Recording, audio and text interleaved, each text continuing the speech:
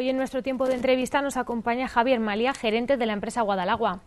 Javier Malia, bienvenido a los informativos de Televisión Guadalajara. Muchas gracias, buenas tardes.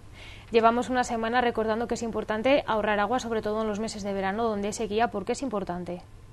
Bueno, hay que pensar que el agua eh, es, un, es, un, bien escaso, eh, no solamente en nuestra tierra, sino en el mundo. El mundo es, es, un, es un planeta, nuestro mundo eh, tiene el mismo agua que tiene hoy, lo ha, la ha tenido durante millones de años. El agua no se crea ni se destruye y por lo tanto pues eh, la cantidad disponible que tenemos es la que tenemos. Hay que decir, basta decir que eh, prácticamente solamente el 3% de, del agua disponible en la Tierra es agua dulce. Y de cada mil litros de agua, de agua dulce que tenemos en, nuestro planeta, eh, solamente el orden de 30 están disponibles en, de forma superficial, en ríos y lagos. El resto está o es subterránea o está en, en hielo, en forma de hielo, en, los glaciares y en los polos. Por lo tanto, el agua que tenemos disponible para, para, para beber, eh, agua superficial eh, y agua subterránea, es muy poquita. Y bueno, ¿qué, ¿qué, trucos podemos hacer para ir ahorrando agua en nuestras casas? Por ejemplo, a la hora del baño. Prácticamente el, el baño es nuestro principal consumidor de agua en, en nuestra vivienda. El 30-35% del agua que consumimos eh, se produce en, en los baños. ¿no? De manera que nosotros cuando abrimos el grifo eh, tenemos que tomar medidas para que el tiempo que ese grifo está abierto sea el mínimo posible, por una parte, y por otra, se pueden instalar dispositivos que permitan que la, el caudal de agua que sale de ese grifo eh, sea el mínimo posible también. Entonces, estos son unos dispositivos que están en el mercado, que, que, además son muy baratos y que instalados en la punta de los grifos, pues permite que con, con el mismo, eh, mejor dicho, con la misma sensación de, agua, de cantidad de agua, en realidad está pasando mucha menos agua porque hace una mezcla de agua y aire y la sensación de uso del agua y de cantidad de agua es muy parecida, sin embargo, consumimos mucha menos agua. Por otra parte, los consejos que hemos oído eh, previamente, probablemente todos, el, uso del, de la bañera en lugar de, perdón, de la ducha en lugar de la bañera. Si tenemos varios niños en casa, bañarles juntos. Son consejos también muy prácticos a la hora de, a la hora de ahorrar agua. De hecho, ahora también tenemos en el, disponibles en el mercado y a un precio muy competitivo eh, grifos, tanto grifos como teleduchas, que, que hacen un, un, uso, un consumo del agua muy racional, porque tienen dispositivos que permiten ahorrar, de hecho, el 50% del agua que consumiríamos si no tuviéramos estos dispositivos. Y por lo tanto, con esos pequeños gestos podemos conseguir ahorros muy importantes que a la hora de la factura del agua se noten eh, muchísimo. Eso en el baño y en los jardines, ahora que llega la temporada de quizá de cuidar con más esmero los jardines y sobre todo las piscinas. Sí, fíjate, las piscinas realmente eh, ya, yo creo que prácticamente todo aquel que tiene una piscina ya eh, implementa medidas de, de, conservación del agua. Ya no, antiguamente todos recordamos que en las comunidades grandes, con grandes piscinas, era en época de primavera cuando se empezaba a mantener las piscinas y entonces había que, que, tirar el agua y renovarla y ponerla nueva. Prácticamente ya nadie hace eso y hay productos en el mercado que permiten que el agua se conserve durante el invierno para que pueda volver a ser utilizada en verano a un coste relativamente pequeño. Luego también tenemos que intentar encontrar posibles fugas. Las piscinas, cuando tienen años, pues siempre las tuberías, por, algún, por alguna pequeña fisura, se nos puede ir mucho agua. Entonces hay que intentar con un, mantenimiento sencillo encontrar estas, estas posibles fugas porque en, grandes superficies pues, eh, de piscinas las pérdidas pueden ser importantes. Hay que tener en cuenta que una buena parte del agua que se pierde en las piscinas es por evaporación y hay una serie de, de profesionales o expertos que nos pueden ayudar a determinar si el agua que nos pierde la piscina, además de, de, por evaporación, es por otras razones. Y además de todos estos cuidados, tenemos que tener especial, especial cuidado en no arrojar determinados elementos por, por las tuberías, ¿no?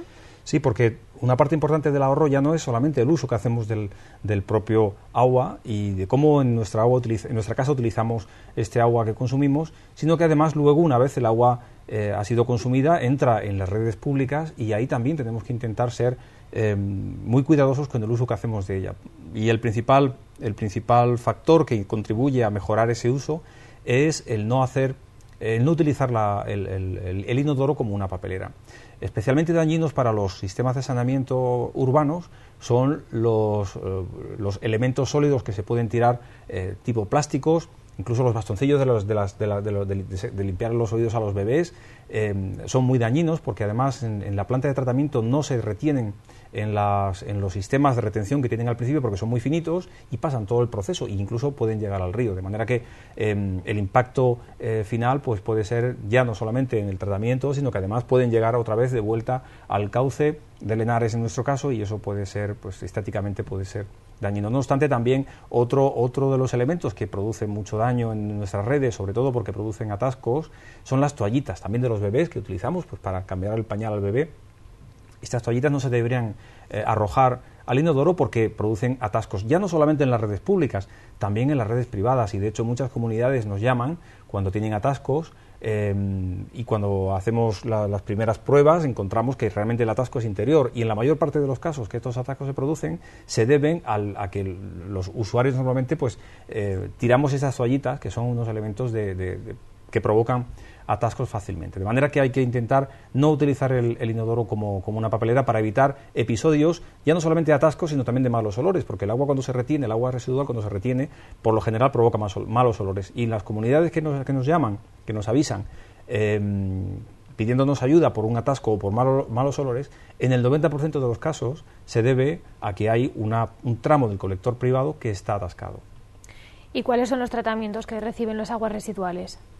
Bueno, nosotros en, cualquiera de las plantas que tenemos en, nuestra comunidad y especialmente nuestra planta aquí en Guadalajara, que también trata las aguas de Marchamalo y que tiene un sistema de tratamiento muy moderno, pues lo que hacemos es que primero pasamos el agua por una serie de tamices que lo que hacen es retener todos los elementos sólidos que trae el agua. De ahí que sea tan importante que, todos los elementos sólidos que podamos, que podamos desechar siempre los echemos al, al cubo de la basura y no, y no y no al agua. A partir de ese momento, cuando se le ha quitado lo sólido, eh, se somete a un tratamiento biológico, que son, es prácticamente el comportamiento de un estómago de un ser vivo, que es un cultivo bacteriano, que permite degradar la materia orgánica que trae el agua. De esa manera eh, convertimos la, contaminación, la convertimos en biomasa y esa biomasa a su vez luego puede producir, con un tratamiento que, nosotros aplicamos aquí en Guadalajara, eh, producen gas, biogás, un biogás que es quemado en unos motores que producen energía eléctrica, con lo cual, digamos que del, agua residual estamos obteniendo una importante cantidad de energía, lo cual además es muy ecológico para nuestro entorno. Por lo tanto, es una concienciación que no solamente tenemos que tener en cuenta en los meses de verano, sino durante todo el año. Así es, de hecho, eh, nosotros estamos abocados a que en algún momento vayamos a una nueva etapa de sequía. Vamos a pensar que tarde mucho, ojalá tarde mucho en llegar, pero tenemos que estar preparados para que cuando ese año seco se vaya acercando, nosotros ya tengamos nuestra conciencia preparada y tengamos nuestros elementos de control, de, ahorro en nuestras viviendas instalados, con el fin de que todos podamos sumar en ese momento a las campañas de ahorro que son especialmente necesarias en esos, en esos años. Pero hay que prepararse, hay que estar preparado para ese, para, para ese evento que desgraciadamente nos llegará. Eh, tendremos otros dos o tres años de sequía y luego pues volverán otra vez las lluvias, pero hay que estar preparado para ello, claro. Y realmente se le, olvida, se le olvida a la gente que tiene que ahorrar agua en los meses de invierno y parece que están más concienciados en verano y retrocede un poco el consumo de agua. Yo creo que cada vez esto es menos así. Eh, yo creo que todos cada vez tenemos más conciencia de que el, uso racional eh, del agua es conscientemente hecho durante todo, todo el año. Lo que pasa es que tenemos más usos del agua en verano y aquí es donde realmente pues sí que podemos eh, poner en marcha estrategias que durante el resto del año pues no tenemos piscinas, no tenemos jardines, no hemos aplicado riegos automáticos perdón, a jardines. Por lo tanto, en esos momentos sí hay que tener un poco más de cuidado. Pero en Guadalajara se aprecia como el consumo de agua es muy estable a lo largo de todo el, de todo el año, incluido el verano. Entonces se puede decir que en Guadalajara cuidamos bien el agua, por lo menos el agua que tenemos. De hecho, tenemos un consumo per cápita, un consumo por, por vivienda y por usuario mm, que está entre los más bajos de España, lo cual quiere decir que hacemos un uso muy eficiente del agua en Guadalajara. ¿Y cuáles son los mayores problemas que se encarga, que, que, tiene, que tienen con la gestión del agua en Guadalajara? Bueno, nosotros ahora mismo el, problema más grande con el que nos enfrentamos es que nosotros eh, estamos haciendo gestión de una red que, mm, que tiene en, en término medio pues muchos años. Y bueno pues eh, realmente hemos conseguido hacer una gestión muy eficaz de, la, de las presiones en la red de manera que hemos conseguido disminuir el número de roturas. Pero todavía seguimos intentando mejorar el tiempo de respuesta ante las averías para que, sobre todo, una vez que se producen, nuestros clientes se vean afectados el mínimo tiempo posible y seamos capaces de reparar esa avería. Nosotros, eh, en Guadalajara, una vez que una avería se produce, digamos, no nos vamos a dormir hasta que la avería quede resuelta. Unas averías que, además, muchas veces por parte de los usuarios se pueden llegar a evitar, como bien ha estado aconsejando. Así es, así es. El, apoyo de los, de los vecinos, además, aquí en, el, eh, en Guadalajara tenemos a disposición de todos los vecinos un teléfono gratuito y aquí sí que quiero agradecer la solidaridad de todos nuestros convecinos porque realmente la rápida llamada de un vecino a un teléfono gratuito de averías de, de Guadalagua hace que nuestro equipo de trabajo se ponga en marcha inmediatamente después de que la avería se ha producido y eso evita que también se pierda mucha agua y por lo tanto contribuye especialmente al ahorro. Yo quiero ser de verdad eh, extender una felicitación y un agradecimiento a todos los vecinos de Guadalajara porque realmente nos están apoyando eh, enérgicamente en detectar y en, eh, ponernos en marcha eh, ante las averías en el mínimo tiempo posible.